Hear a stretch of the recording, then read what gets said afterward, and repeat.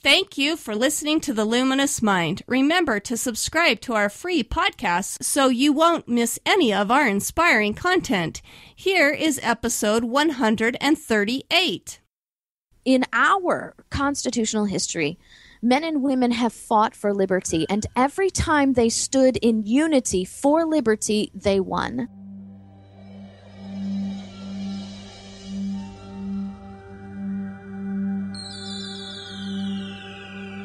Benjamin Franklin once said, Do not curse the darkness, rather light a candle instead.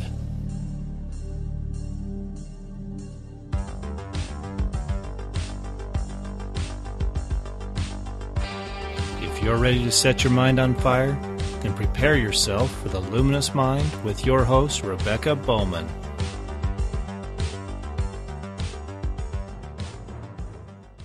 Today's fire starter is KrisAnne Hall. KrisAnne Hall is an attorney and former prosecutor who travels the country teaching the Constitution and the history that gave us our founding documents. KrisAnne will connect the dots for you like no other else can. Host of the KrisAnne Hall Show, she pulls no punches, puts liberty first, and gives no quarter to those who hide behind party labels. Like no other host, KrisAnne will tell you what the founders had to say on today's relevant issues. KrisAnne is a disabled Army veteran, a Russian linguist, a mother, a pastor's wife, and a patriot. Born and raised in St. Louis, Missouri, she received her undergrad undergraduate degree in biochemistry from Blackburn College in 1991 and her GED from University of Florida, Levin College of Law, and a former Russian linguist for the U.S. Army. KrisAnne worked as a state prosecutor and with a prominent law firm defending religious liberty and the First Amendment rights. Author of Not Living, Breathing Documents Reclaiming Our Constitution and the DVD series The Roots of Liberty, a historic foundation of the Bill of Rights and bedtime stories for budding patriots and essential stories for junior patriots. She was awarded the Freedom Fighters Award by Americans for Prosperity, the Certificate of Achievement from the Sons of the Revolution for her defense in liberty, and Congressman James Blair Award for defending the Constitution. KrisAnne lives in North Florida with her husband JC, a pastor and former Russian instructor for the U.S. Navy, and their adopted son Colin. Welcome, KrisAnne. Thank you very much. I'm, I'm, so honored to be here. I am so excited to have you join us on this topic of constitutional education. And this is a great time to be discussing all this with our political things going on. But we are not going to talk necessarily about which political party is the best. We're going to just stick with principles. and sadly, unfortunately, learning and studying the Constitution is almost considered an alternative education.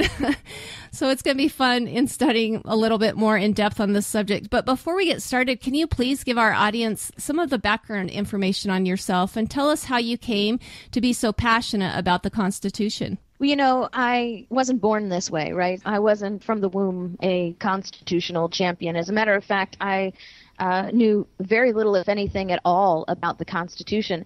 And I went to law school and learned what I thought I was learning about the Constitution.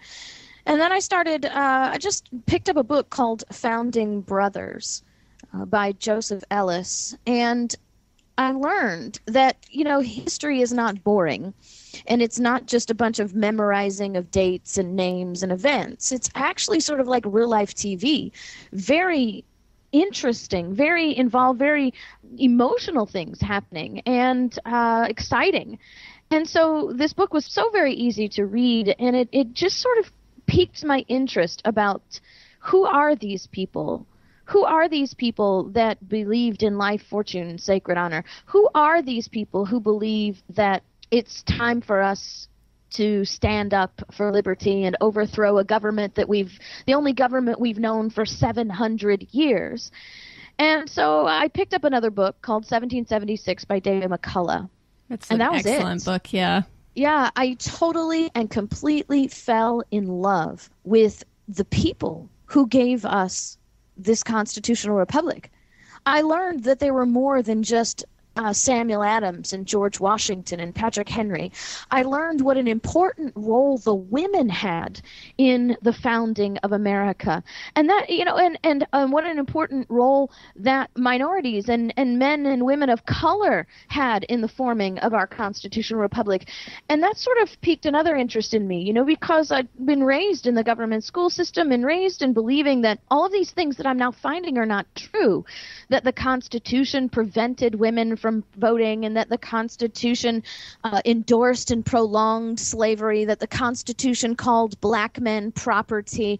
All of those things are simply not true. And uh, it just drove me to know more because, you know, I have this little thing I hate being lied to. You could do lots of things to me. Don't lie to me, right? Yeah. And so now I feel like, why have I been lied to about who we are our whole lives?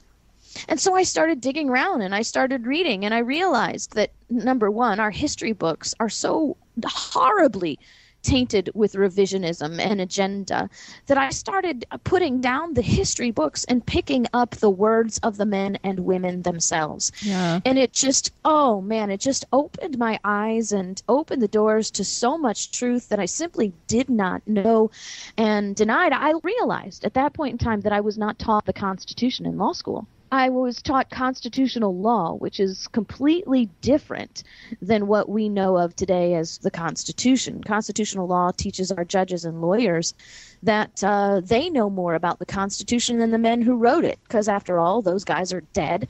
And everything that they wrote is irrelevant, you know, because we have cell phones and internet and CNN and Fox. So we don't need the founders. And, and nothing could be further from the truth. And as my studies continued, that, that's where the passion came from standing up for these people who stood up for us they said time and time again, we are doing this for ages and millions yet unborn. They didn't pledge life, fortune, and sacred honor for themselves. They did it for us.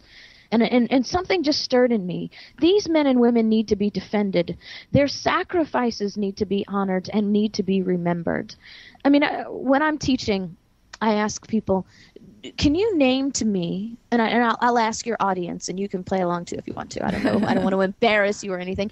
But can you name the first man to die in our liberty movement in the 70s. First man to die, what was his name? And you know, most people I, can't name yeah, it. I can't tell you. I know there was um oh, the the thing that happened between the British, I can't remember the name of it though, where they uh you know, John Adams actually had to defend those British soldiers, well, but I can't good. remember. You're in the right piece of history. it's, called the, it's called the Boston Massacre. Okay. And the man's That's name right, was was Crispus Attucks.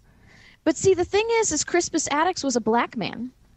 He was a freed slave who had become a whaler for the merchant marines, and his ship just happened to be docked at the Boston port.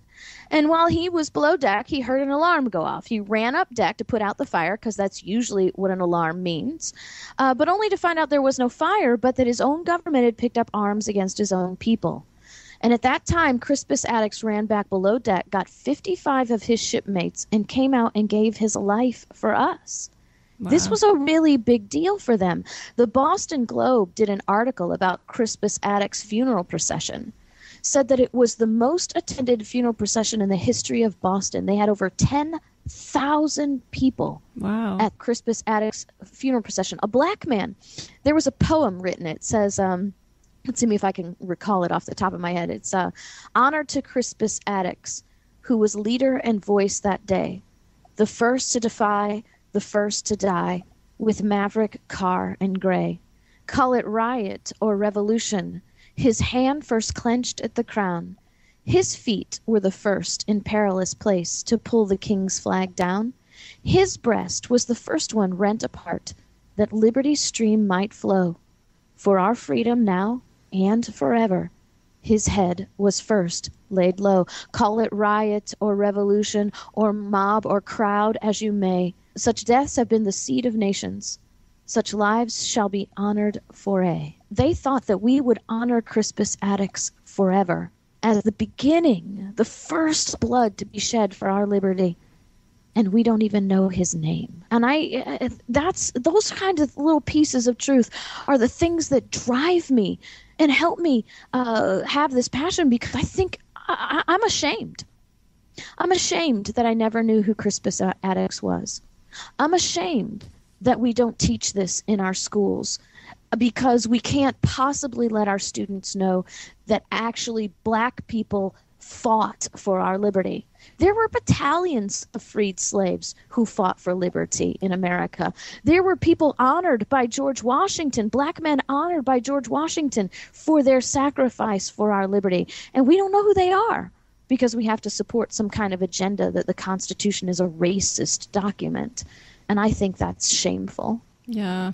Well, and one of the things that I think is interesting with the founders and maybe what will help change our paradigm of how we view the Constitution is that these were brand new ideas. I mean, to rule yourself, to be a self governing type person was kind of an unheard of. We had kings for thousands of years, and for thousands of years, government had been a very George Washington, I think, said it best, and maybe you know quote, the quote better than I do, but that, you know, it's a form of tyranny to have government. And that's when, when they were crafting that document, they were very careful of how they wanted to preserve those rights.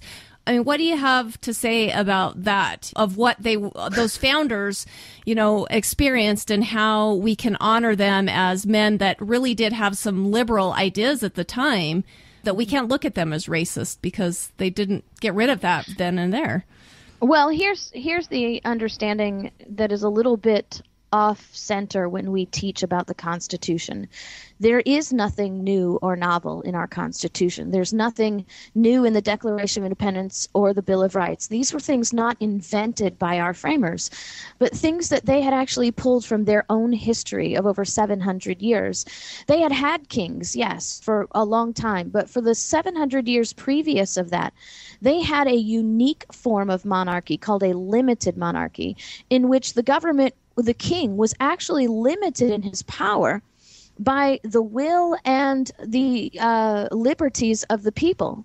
Uh, it started in 1014 with an agreement that they had with their king named Ethelred, in which they, they told Ethelred, We'll allow you to be our king. I mean, this is important. We will allow you to be our king on one condition your only job is to negotiate with foreign kings to help us organize for our defense and to engage in treaties of war, peace, and commerce. You will leave us alone to govern ourselves. And then in 1100, we had another king by the name of Henry I who wrote the first installment of the British Constitution called the 1100 Liberty Charters uh, the 1100 Charter of Liberties, in which Henry promised that the government would never be evil and oppressive again, and made 14 limitations on the power of the king in order to preserve the liberties of the people. In 1215, we get the Magna Carta, which is not the king writing promises, but the people writing demands demands of what uh, the king can and cannot do and the, the rights and the liberties of the people. From the 1100 Charter of Liberties, we get our principle of separation of church and state. From the Magna Carta, we get our some more principles of the First Amendment, the right of the people to petition the government for a redress of their grievances. We get our Fourth, Fifth, Sixth, Seventh, and Eighth Amendments in our Bill of Rights from clauses 38 through 40 in the Magna Carta. We get our representative government from the Magna Carta. It created a committee of 25 men to sit in the king's court who had the authority to tell the king, you can't do what you're doing because it violates the liberties of the people. The third installment is called the Petition of Right of 1628, in which the British citizens demand greater protection for due process. They demand that there'll be no quartering of soldiers in their homes, which is our Third Amendment. And they demand that there'll be no legislation without representation, proper representation. The fourth installment is the Grand Remonstrance of 1641, where it is a, an even greater declaration of the rights of the people, but even more so, an identification of tyrannical government. They actually identify what they have observed for 600 years as what tyrannical government looks like. They said tyrannical government it can be found through corruption of the court system, infiltration of foreign law, the government diminishing the property rights of the people because even in 1641 they had property rights as people the government sticking its nose and trying to control the churches. We also have the government uh, manipulating the monetary system, creating fiat money, which was considered to them a destruction of liberty, and then the government disarming the people while the government remained armed. Now, this is 1641, mind you, and these are these are the principles, and even sometimes the very language that have been incorporated into our Declaration, our Constitution, and our Bill of Rights. The fifth installment is a document called the English Bill of Rights of 1689 in which they identify that for 600 years they've had separation of powers.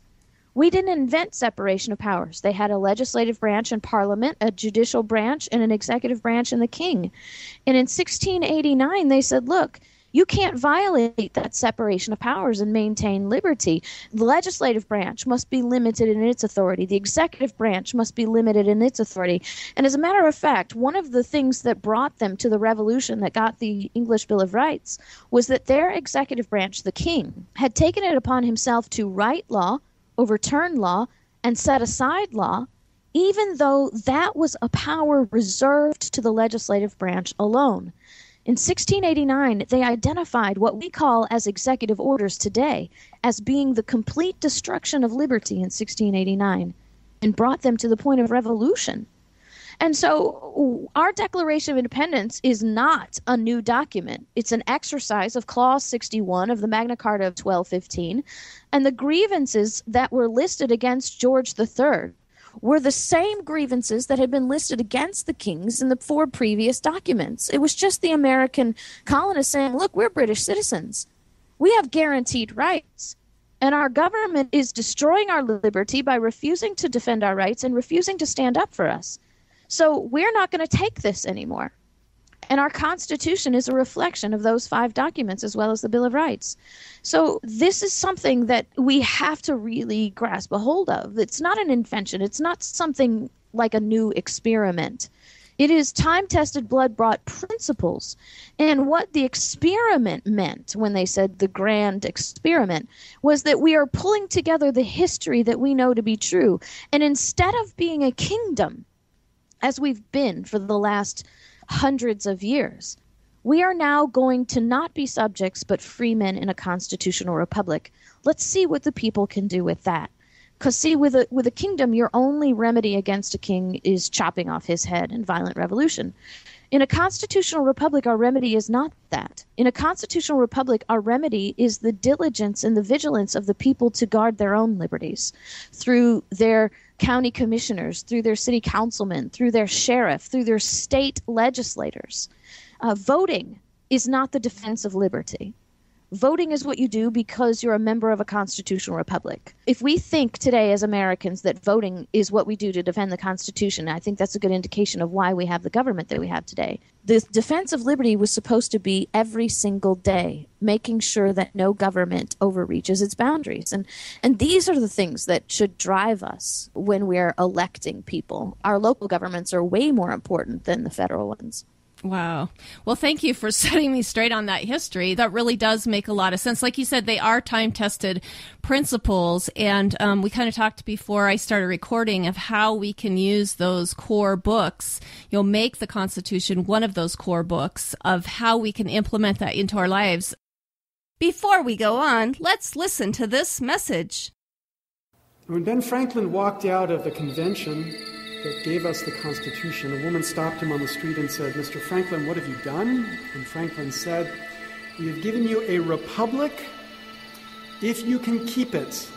Changing a paradigm takes some study, but like me, you are probably super busy. That's why we've teamed up with Audible. Go to our website, theluminousmind.net Get a free month of Audible with two audiobooks, thousands of titles in exchange for only books that you absolutely love. You too can be learning on the go to keep that fire burning. We're giving you a republic if you can keep it. We're giving you a republic if you can keep it. Republic is a representative of democracy a system dependent on the people alone, not on something else like money given to parliament members. Welcome back to the Luminous Mind with KrisAnne Hall, who's educating us on the principles of liberty. do you feel like that maybe that's the difference between our founders of what they actually understood? They used those; those were their core beliefs. That was the mm-hmm. way they were educating themselves and and things they understood. Um, maybe if we can figure out how to get you know our populace to use that constitution you know what's your message about trying to make that constitution one of our core beliefs well, you know, Patrick Henry said that uh, I have but one lamp by which my feet are guided, and that's the lamp of experience. I know no way of judging the future but by the past. Alexander Hamilton said experience is the oracle of truth, and where responses are unequivocal, they ought to be held to be sacred and conclusive. Einstein said just about the same thing. He said, when you do the same things over and over again and expect different results, that's the very definition of insanity. And what these three men are trying to teach us is that history is our greatest teacher because human nature never changes and we end up making the same stupid mistakes over and over again. But when we study our history and we know how we got to where we are, then we understand how to prevent government from ruling and reigning over us as a king. And so our Constitution is not only a declaration of history, but is a declaration of the inalienable rights of the people. Most people will agree of all faiths that there is a specific golden rule that we're supposed to live by that you do unto others as you do to yourself. And if we are not knowledgeable about our own rights, and we do not stand in the defense of others, then we are violating that golden rule. Because what we're saying is if I knew better and did nothing and allowed my neighbor to suffer from government oppression, is that the way I want to be treated if I'm ignorant of something? Would I want my neighbor in full knowledge to stand by and watch me be assaulted and oppressed by my government when they knew what they could do to change that? But it all begins with education, though, really. Another question that I ask my audiences when I teach is to name all five liberties in the First Amendment, because there are five individual liberties identified in the First Amendment. And, you know, most people cannot name all five. Yeah, actually, let's do number because most people associate that with the freedom of speech, right? And then mm-hmm. then it ends there. What are the five liberties? Well, the five liberties are freedom of religion, freedom of speech, freedom of press, the right to peaceably assemble, and the right to petition the government for a redress of your grievances. See, but if you don't know what your rights are, how do you know they're not already gone? How do you defend something if you don't know it exists? And if you don't know what your rights are, then you are not defending them because you're not exercising them. And the only defense of our rights and our liberties is the daily exercise of those rights. It's when we become ignorant and apathetic. Uh, the apathy comes from ignorance. So when we become ignorant, then all of a sudden we don't care because we don't know we're supposed to care. And then the government can redefine speech and redefine press and redefine things like the right to keep and bear arms shall not be infringed, or redefine the right of the people to be secure in their persons, houses, papers, and effects against unreasonable searches and seizures shall not be violated. All of these things are being redefined by our government today to limit our liberty and expand their power.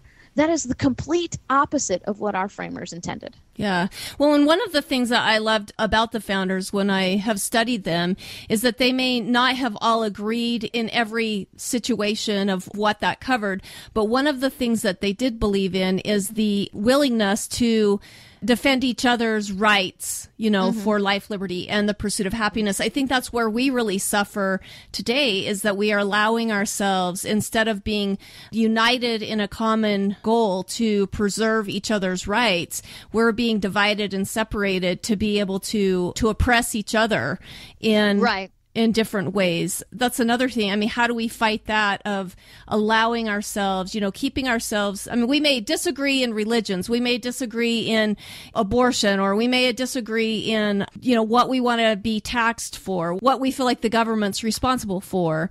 Um, we may disagree with how to get to all that stuff, but we need to be, you know, common and united in liberty. How do we re- reunite ourselves in that. Samuel Adams said, No people will tamely surrender their liberty nor be easily subdued when knowledge is diffused and virtue is preserved. He said, But on the contrary, when a people become universally ignorant and debauched in their manners, they will sink underneath their own weight without the aid of foreign invaders. And that's what's happening in America. We are being divided by artificial divisions. And when the spirit of liberty, which is within all of us, common to all of us, is what should be uniting us, our framers had different ideas, not on liberty. They had different ideas on how to preserve it, but they were united in their sense and understanding of liberty that this is what has to happen and this is what we should be focused on. They were singularly focused on these things and the thing that creates a lot of this division, I think, is this misconception that the Constitution is difficult to understand and that, that you have to be a lawyer or a judge to properly interpret it. Nothing could be further from the truth. The Constitution is simply written on purpose. They wrote it simply so that everybody could understand it and everybody could make sure that they were active in its defense and enforcement there really is very little debate to be had when you read the Constitution and understand its simplicity on what the federal government should and should not be doing. There is a list of things that the federal government is allowed to do, and then the Constitution says everything else that's not on that list is reserved to the states. But because we have taught people for so long, either one of two things, if not both, that it's the Constitution's too difficult to understand, you couldn't possibly understand it, so just leave it to the government, they know best, or that it's outdated and irrelevant, so we don't even really need to understand it, that we've gotten to the point where the government, through its own agencies, through its own branches, has been allowed to expand its own power beyond the limitations of the Constitution because the people have checked out and decided they don't want to know about it. Yeah. Well, and let's bring that back to an education realm. You talked about earlier in our discussion how you felt lied to. And I think a lot of us that went to public school, we were not taught the Constitution or not taught, you know, like you said, more of a constitutional law and not the actual words. What would you say? I obviously we attract more homeschoolers than most, and we've realized that maybe that's how our nation will be saved is that the teaching of the Constitution through the home because it's not mm-hmm. being done in our government schools. Give us an idea of how parents can really mentor that education and learning for their children. Well, I think the first thing may sound strange, but I think the first thing that parents need to do is realize that they don't know what they're supposed to know about the Constitution. Uh, our forced ignorance on the Constitution, our misunderstandings of government date back generations. And when I teach, I teach people of all ages from 6 to 96 and it is it is universal the lack of understanding on what the Constitution means and how it's supposed to be applied. And so I think the first thing is to admit that we as adults need a re-education program on what the Constitution means and how it's supposed to work. And once we can get a real foundational understanding, and I mean it's just simple ABCs one two threes of the Constitution, then we can start sharing that information, or perhaps even be willing to learn alongside our children as we find reasonable and reliable resources to teach on the Constitution and how it's supposed to work. Because you have to be very careful. This misinformation, this misteaching has gone back so far that even sources that we might consider as reliable are simply not because we have been indoctrinated into a federal supremacy kind of attitude, a judicial supremacy attitude. We say things like courts make rulings as if they write law and that the Supreme Court is the final authority on the Constitution. And, those thing, things are simply not true.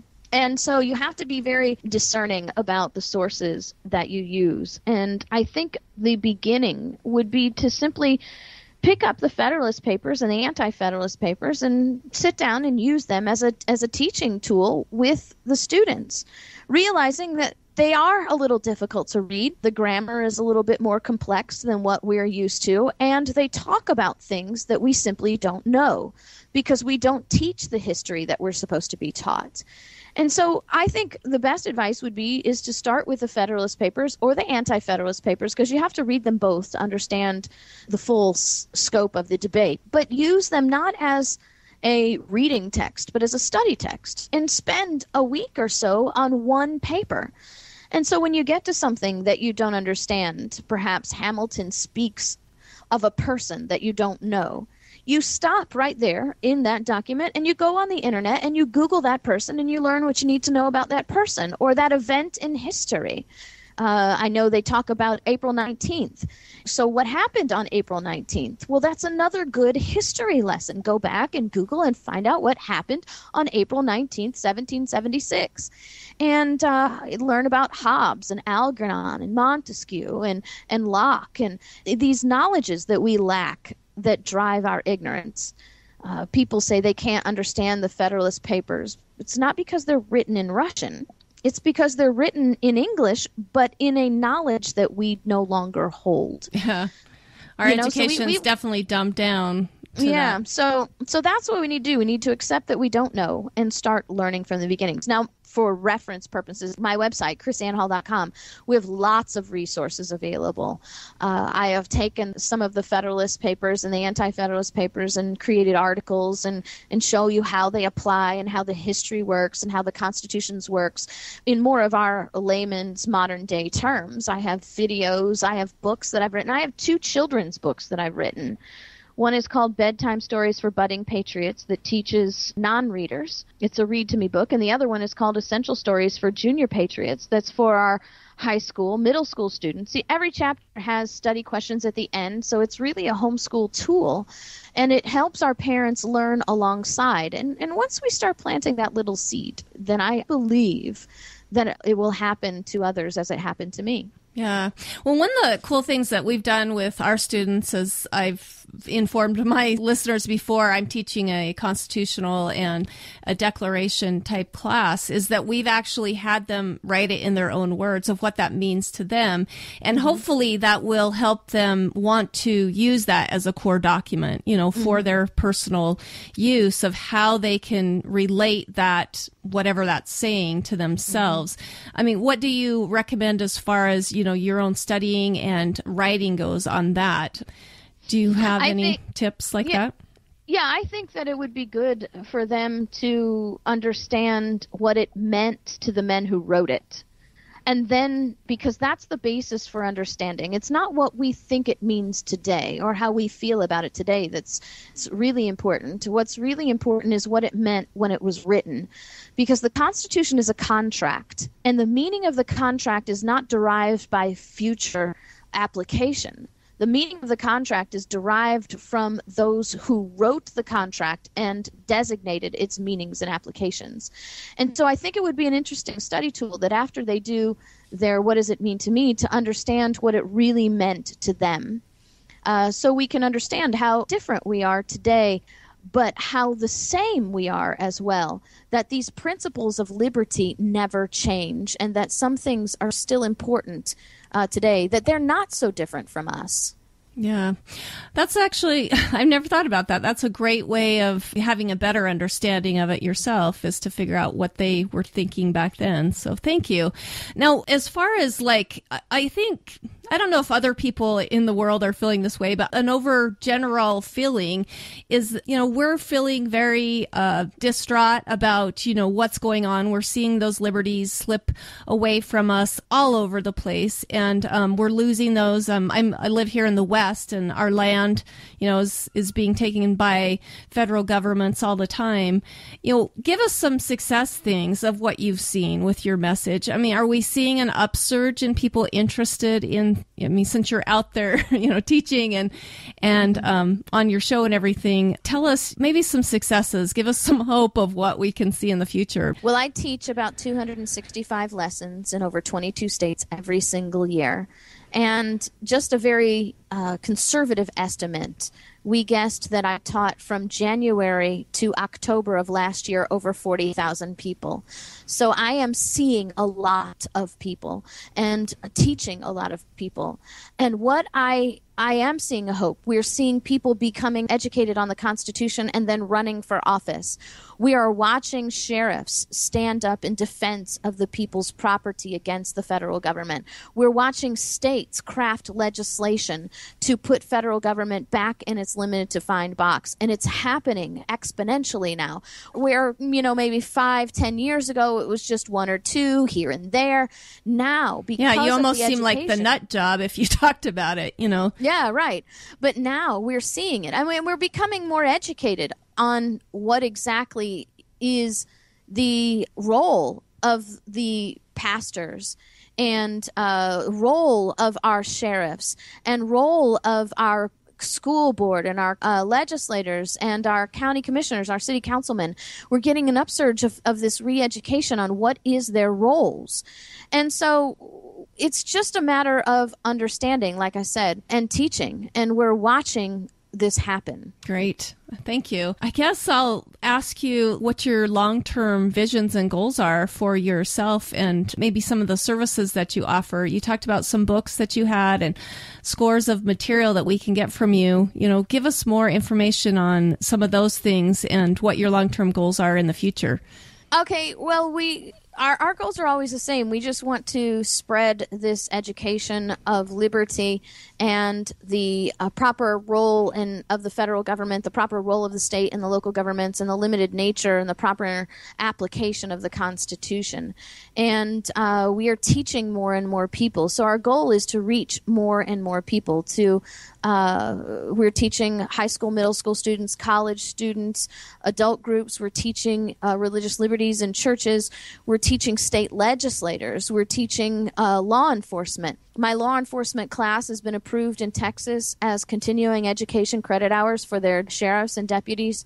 I've taught the legislators of Arizona, Utah, Kansas, Missouri, um, Idaho, and Oregon. And we have even more states lined up to teach. And we're actually going to be teaching some of the same legislators again because you don't get it the first time around.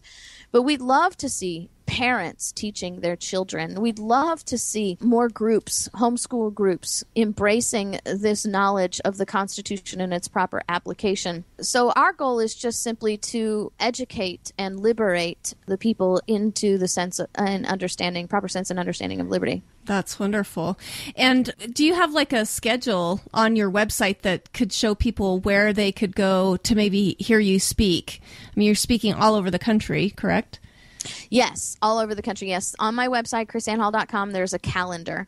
Also, there is a place where you can sign up to have me come and teach your group. We don't charge speaking fees and we don't require anybody to compensate us for our expenses. We we work solely on donation. We work solely on the on what we get from the books that I've written, and uh, we have people who who donate to us on a regular basis because they love the knowledge that we're teaching.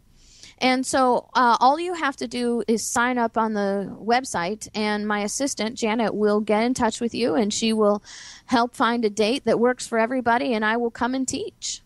That's wonderful. Like I did. I did that with right, you for this podcast. Right. Awesome. All right. Well, before we say goodbye, do you have any final parting words for our listeners? And then please give us your contact information of how we can get your resources. History is your best teacher. And history is also, I mean, it, it gives you sometimes some things that you don't want to know, some things that are unpleasant to see.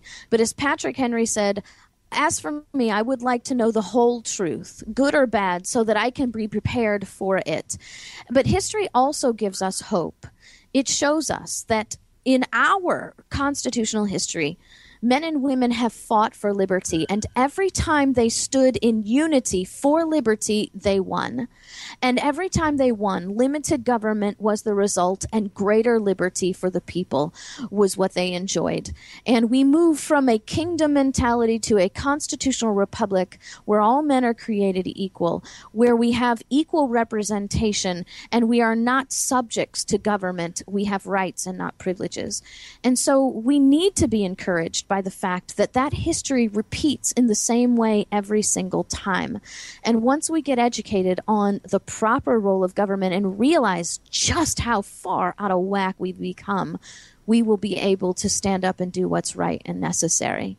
And uh, so, uh, again, I have a radio show that broadcasts six days a week. You can uh, download my mobile app onto your iPhone or your Android phone and get my shows podcasted to your phone. You can Bluetooth them through your car and and get the education from an everyday perspective. I have books that are available. I have articles. I have over 150 articles and videos on my website. All of these things with just the hope to plant a little seed that will inspire others to stand for liberty as well. That is great. And I definitely want to, you know, encourage people to try to look at our founding documents as, you know, timeless principles. I think that's where we're really not seeing how we can utilize those for our day and our age and that they will work if we can get back to that limited government mm-hmm. and those principles. So thank you so much, KrisAnne, for coming on. It has been an absolute pleasure to speak with you and I appreciate your time. Oh, it's been my pleasure. Thank you for being a homeschooling parent. Thank you for listening to The Luminous Mind. To learn more about KrisAnne Hall, go to our show notes at theluminousmind.net. Be sure to become a subscriber to our free email list and get our new monthly newsletter. Then check out our services tab to see how we can continue to assist you, our fire starters. Also, to help us continue production of inspiring content, go to the sponsor tab at theluminousmind.net for more information on sponsorship and affiliate programs. Like us on Facebook, follow us on Twitter, Google, Pinterest, and now Instagram. Get our free audio content by subscribing on YouTube, iTunes, and Stitcher. To help us grow, consider these easy ways. Tell your friends about us, leave us a review, share our content, tell us how we can help you so together we can continue to light minds on fire and change the paradigm of education.